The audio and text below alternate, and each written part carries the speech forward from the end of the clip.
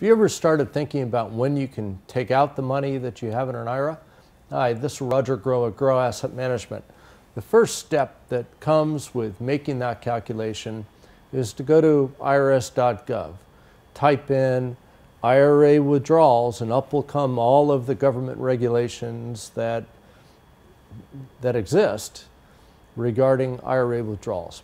A couple of big ones. Number one, you can usually start when you turn 59 and a half. Number two, you have to start when you turn 70 and a half. And number three, if it's a hardship case that's clearly demonstrable, you may be able to do it earlier than 59 and a half. There are lots of tax consequences along the way as you begin to make withdrawals, and you probably want to have a discussion with your lawyer and tax accountant regarding the best way to treat your IRA withdrawals. Hope that helps. I'm Roger Groh at Groh Asset Management. And thank you very much for spending time with me.